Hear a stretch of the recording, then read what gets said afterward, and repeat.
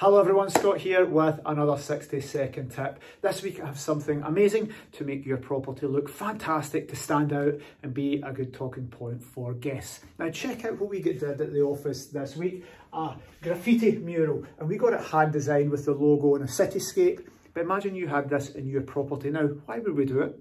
Well, properties all start to look the same, whether it's furniture packages from companies providing the same theme, whether it's from IKEA, but whether it's a feature wall, they tend to all look the same. But if you can get something custom designed for only a few hundred pounds, that's probably cost us less than getting feature wallpaper, then getting a decorator to do it.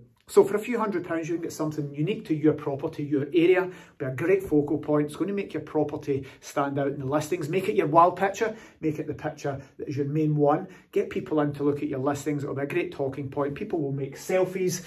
So do something different and special to make your property stand out.